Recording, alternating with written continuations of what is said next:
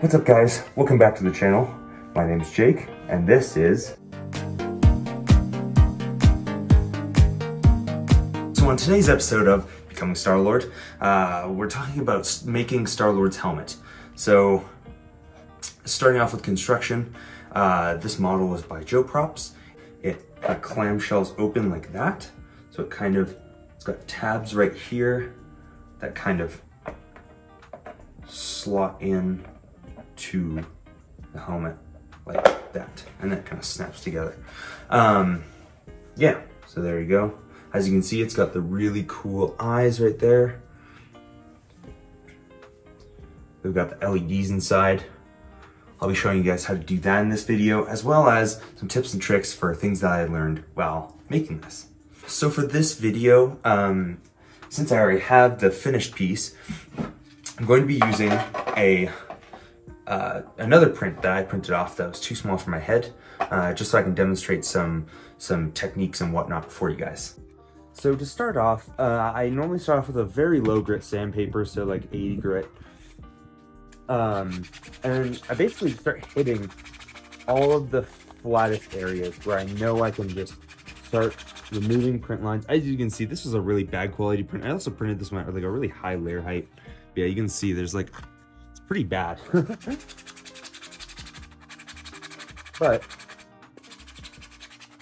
the more you sand it, the more those high spots will start to go away. You can definitely make a print even with this heavy of like, you know, print lines. You can still make this look good.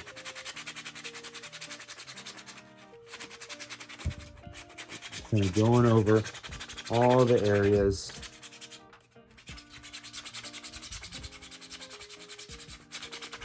I know if you get a if you get a palm sander, that would probably be really good for hitting all of spots like these, so you can get them really nice and smooth. Smooth. Uh, I know Frankly Built, he talks a lot about using palm sanders when finishing 3D prints.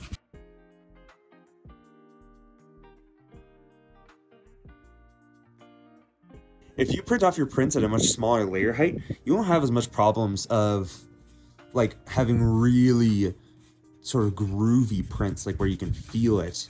Not not groovy in good, groovy in there are grooves in the print. You can see the layer lines are all, you know, they're pretty thick, but you know.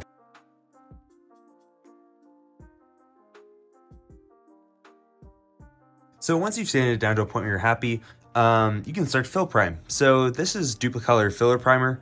Uh, I've found that it works a lot better compared to uh, the Rust-Oleum fill primer. Um, so yeah, and this stuff you can really put on quite heavy. You can lay this stuff on thick.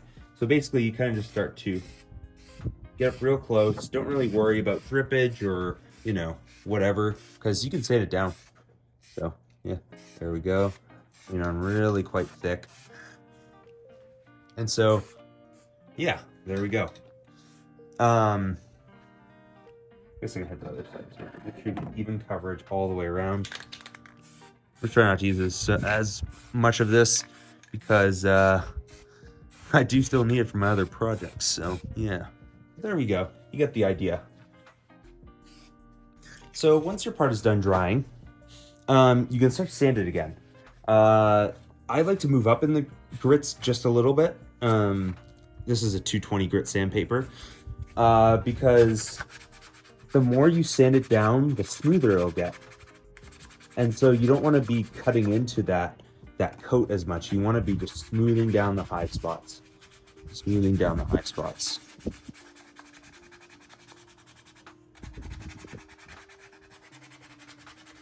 So, show you a little bit more close up here. You really want to be pretty rough with this because 220 is still not a super, you can see my sandpaper's a little dirty. I was sanding some Bondo.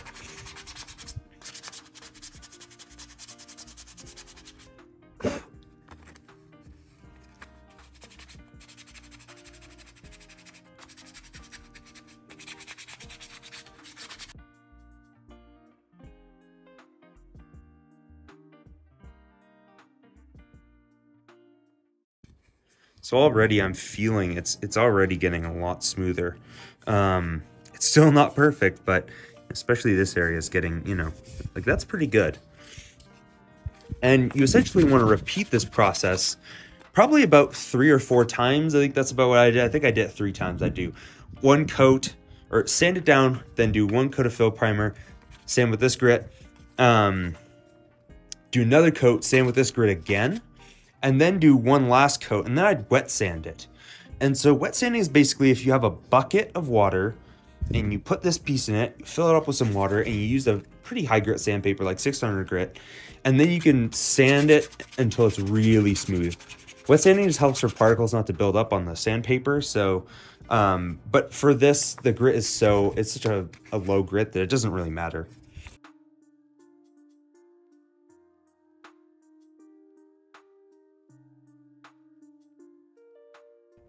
Sometimes if the layer lines are really, um, really sort of visible still at this stage, you can go in with an 80 grit and just kind of go back in and really start to knock it down. Or you can go in with something a little finer like 120.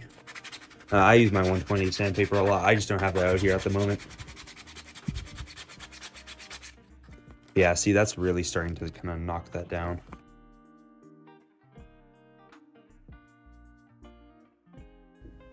So, painting the helmet. Um, the entire helmet is, uh, the base layer of it is this Tamiya color uh, TS38. Uh, it's a really nice gunmetal color and it looks really close to the one they used in the movie. Um, and then for the gold and the silver parts, I actually airbrushed them. So I use these two paints. These are not airbrush paints, but if you mix them with water, they get really, they, you know, they thin down really well and they're not flaky at all. So they make really good airbrush colors. I kind of just mix these two to get um, a, you know, a gold color that I was happy with. It looks pretty close to the movie. And then for the silver, I use this Wicked Colors uh, silver. So yeah. So for the sake of this video, um, I'm just gonna paint this. I would definitely do at least, you know, two, three more coats of fill primer and at least a couple more hours of sanding, including wet sanding before painting this. But for the sake of this video, I'll show you guys some painting. So here I have my Tamiya Color TS38. Uh, this is a fantastic color and I really like it for Star-Lord. So essentially we'll just kind of start uh, doing on thin coats and I believe that this can is running out, so I will be right back. So I'm back, another Tamiya TS38 here. Uh, and basically I'll just start spraying. I do pretty light coats and stuff. I think I did about two coats. And you're just kind of lightly, you know, kind of just dusting it.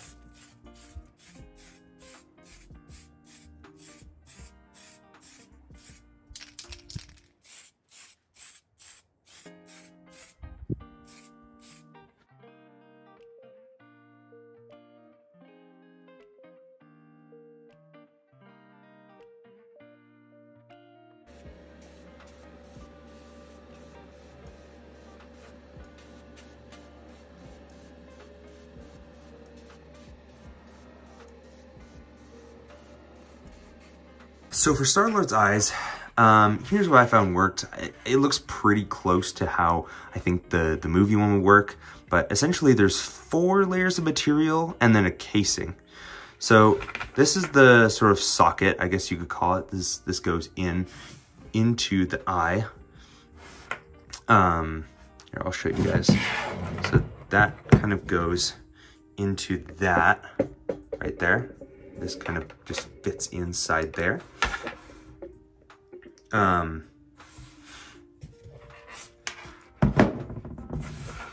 and then there's a blue tinted layer right here. Uh, so that when the red LEDs are on, you're not seeing red all the time and it kind of just makes it like a pair of sunglasses. And then um, a layer of mesh, you can see, to kind of give it that texture. That's what the movie one had. And then I also just put a piece of clear plastic over.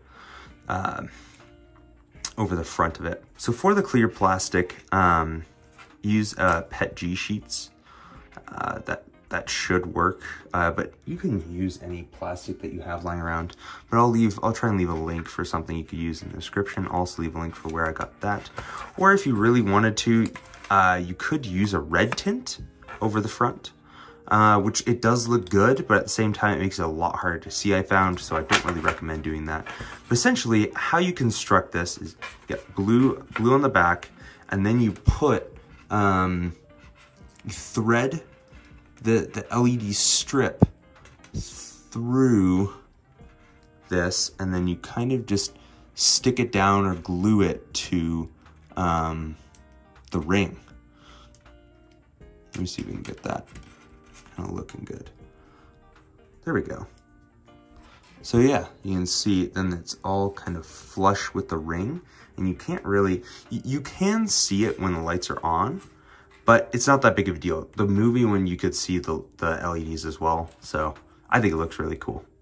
And it gives you that really nice glowing eye effect. One thing I forgot to mention is that to get the mesh look, I used this mesh tape. Now, I originally used it because I thought I was being clever, and when I cut out this mesh, it has an adhesive backing. I thought I could just stick it right on to the plastic. I could go like that. Unfortunately, that's not how it works, and the glue adhesive backing that they use is, um, it's pretty, it's pretty like fogged, I guess you could say, when it's on the the plastic part.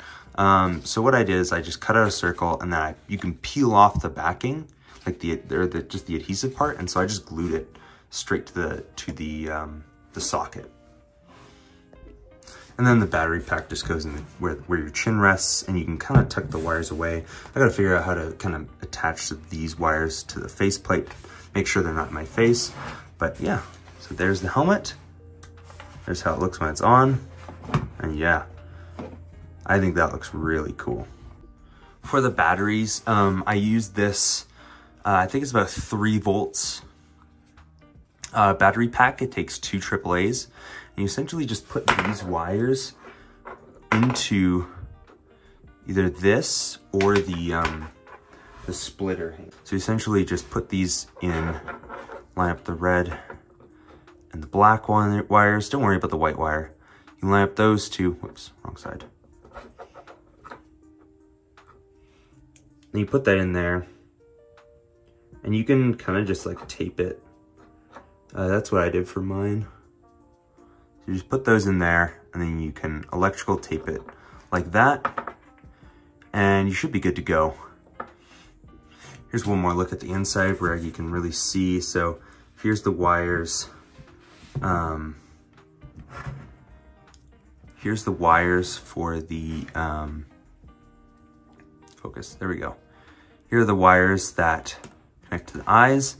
And then right here is where the battery pack and that splitter join. And you kind of, you can see I kind of just taped it together. There are probably much fancier methods of doing this, but that works just fine for me. And then when you switch it on, see the LEDs in there, light up. So assembling this helmet is pretty straightforward. Um, there's basically four main pieces. So there's faceplate, one, there's two sides, right there, right there, and then there's a back plate. And the back plate is removable. There we go. And they're essentially tabs that go into those slots. After that, there's three tubes on each side. One, two, wait, hang on. One, two, three on both sides. And then also three tubes that go in the cheeks. One, two, three. Um, and there's two tubes on the face here, two tubes on the chin, and a couple little screens that I just printed off and put in there. Those do not come with the original model. You could probably use some metal screens like bug screen, and that would probably work really well too. But yeah, that's just what I did for mine. I feel like I'm gonna have a lot of people asking me this in the comments. Uh, this model was by Joe Props on Instagram. Um, he is a fantastic modeler and he has great communication. Highly recommend getting your model from him. Uh, it does cost money, so I will leave a free alternative in the description. Um, I definitely recommend doing this one though, because this is probably the most accurate file that you can buy currently for Star-Lord. So final thoughts for this helmet. Um, I'm really happy with how this came out. You can see here, the finish is really nice. You know, it's got a really cool metallic gloss to it, as well as the gold. Yeah, and the eyes. I'm super happy with how the eyes came out. Uh, but yeah, hopefully you guys learned something, and uh, thank you guys for watching.